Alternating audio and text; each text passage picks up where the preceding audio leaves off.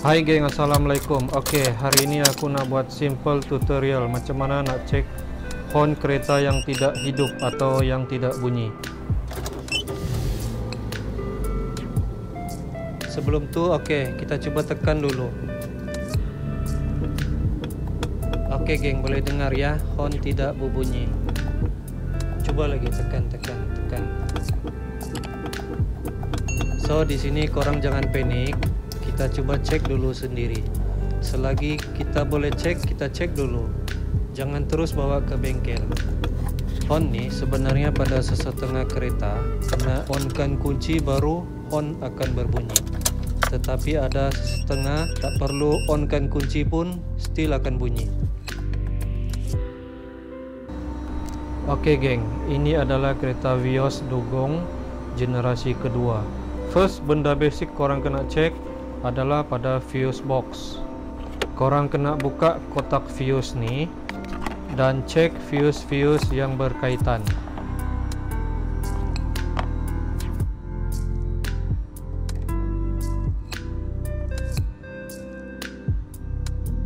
Okey, di sini korang kena ada sebiji sebiji ke sebuah test light untuk cek fuse dan wiring.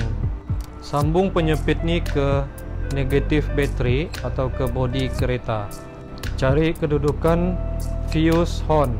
Dan fuse ni terletak di sini yang berwarna merah. Itu adalah fuse horn.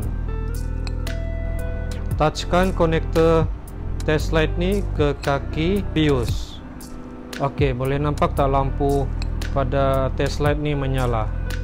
Bermakna fuse ni masih function So di sini kita dapat tahu bermakna bukan fuse ni yang bermasalah. Mungkin ada sebab lain. Sebelum tu cek dulu sambungan-sambungan yang ada pada kepala positif bateri. Seterusnya cek juga fuse yang ada pada wiring tambahan untuk horn tersebut.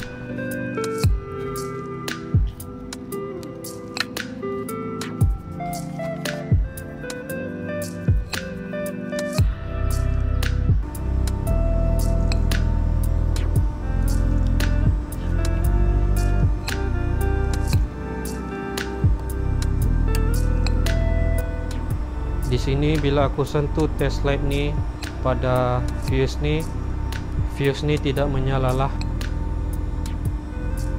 dan bila saya direct connect ke wiring ini ternyata ia menyala. Maknanya di sini wiring ni tiada masalah. Dan bila saya cek pada fuse ni uh, fuse ni belum putus lagi lah sekiranya fuse ni masih elok dan wiring ni tiada masalah apa yang saya buat saya cabut fuse tersebut dan cek pada kaki-kaki fuse ini. Sama ada berkarat ataupun tidak. Sekiranya terdapat karat korang kena bersihkanlah kaki pin fuse tersebut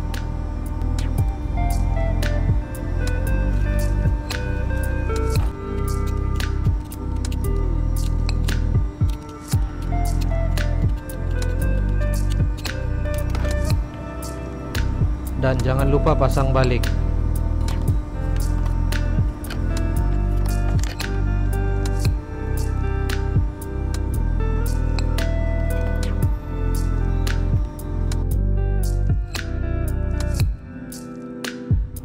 Dan kita coba lagi sekali.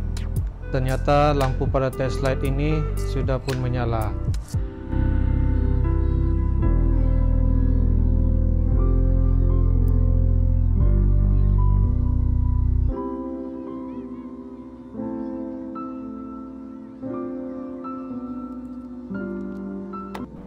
Oke geng, untuk lebih pasti kita cek lagi pada relay horn nih.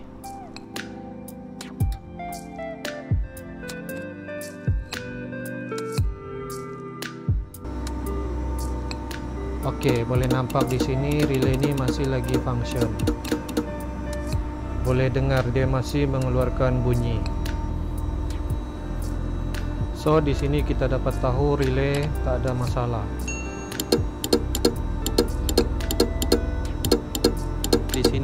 tidak tahu, besar kemungkinan puncanya daripada fuse tadi.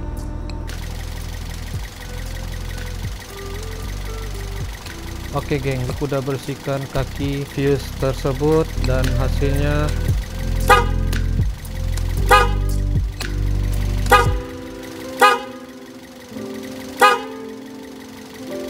font saya sudah pun berbunyi. So ternyata itu saja punca masalah dia geng. Kesimpulannya kalau kita berani buat masalah boleh selesai. So geng, itulah tadi serba sedikit cara-cara untuk cek horn kereta kita yang tidak bunyi ataupun tidak hidup.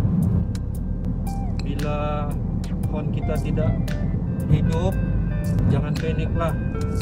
Kita coba dulu cek sendiri sebelum kita bawa ke kedai. Selagi boleh buat kita buat. Yang penting kita tahu basic-basic first. Kita coba cek fuse sama ada di fuse box ataupun fuse dekat wiring tambahan.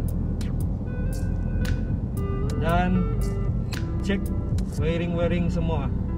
Sama ada hidup atau tidak. Wiring dari battery positif battery grounding. Dan last sekali kita cek relay. Ceklah pin relay tuh sama ada berkarat atau tidak connect dengan betul tidak touch dengan betul. Termasuk juga pin dekat fuse tuh fuse kecil tuh 10M sebab masalah on kereta saya nih. Bila saya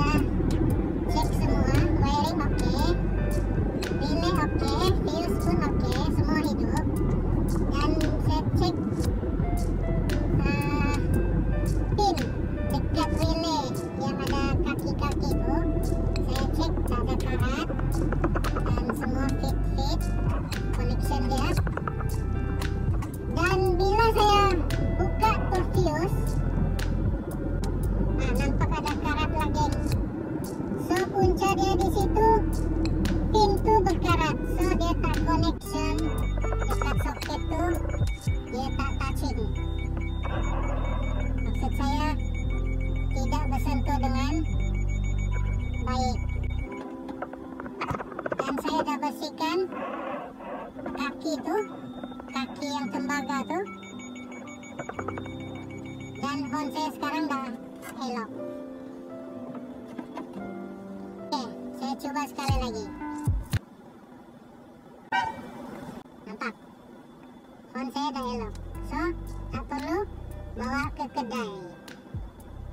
Selagi boleh cek sendiri kita cek sebab bila bawa ke kedai? Once korang bawa dah kena cas once dia check upah tetap jalan. Ok geng. Sekian saja video saya kali ini. Dan kalau korang rasa video aku ini bermanfaat dan korang suka tolong like, komen dan subscribe geng. Terima kasih geng. Jumpa lagi. Ciao